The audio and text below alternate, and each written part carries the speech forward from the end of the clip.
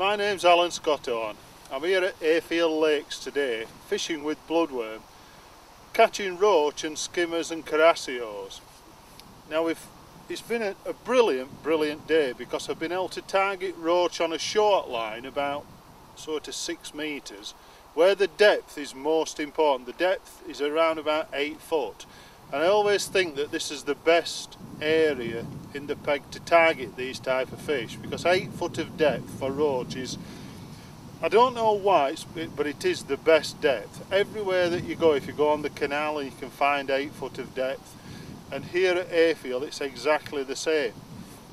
It actually goes deeper once you go further out into the full depth where it goes to about probably 11 foot deep and alright, you catch an odd roach there, but it's always better that closer line for the roach. And that's that's what I've done today. I've fed a line with ground bait short, and then further out I've fed a, a lake and leam type mix for the skimmers.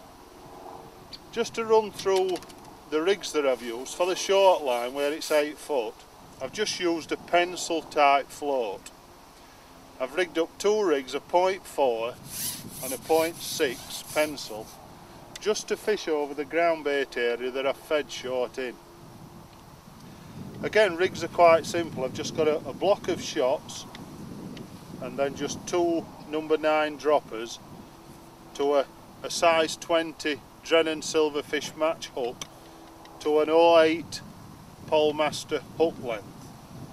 So quite a simple rig for the outside line, the rig's quite a bit different. I'm just showing my outside rig.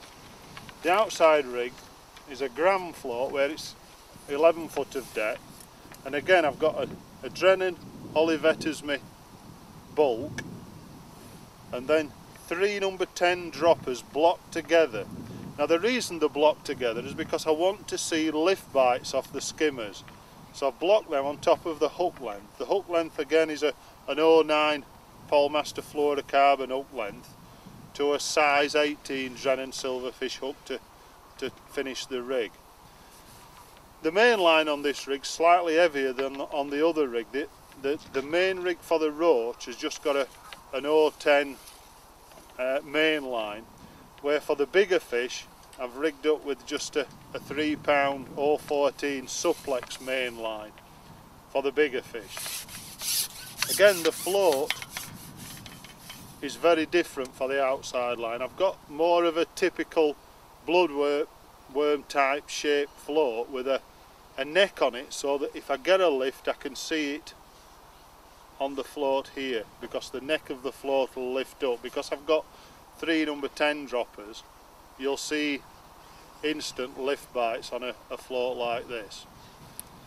A number 6 elastic for the, the skimmers for the outside line and just a number 4 elastic for the inside line.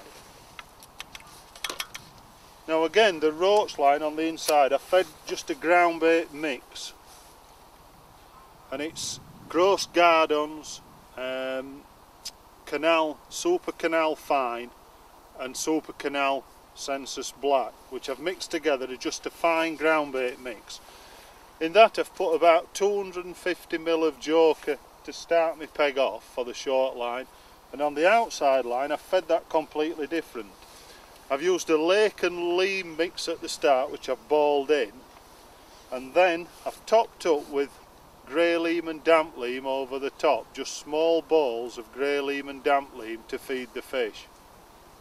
I've had a fantastic day's fishing and we'll have a look at the fish that I've caught. What a belting day's fishing that's been. Absolutely fantastic. A right mixed bag of fish, tench, carassio, skimmers, roach, all caught on bloodworm, fishing short at 6 metres and long pole at 14 and a half. Hayfield's full full of fish like this. It's a brilliant match fishing arena to fish in. So we should have some good matches this winter.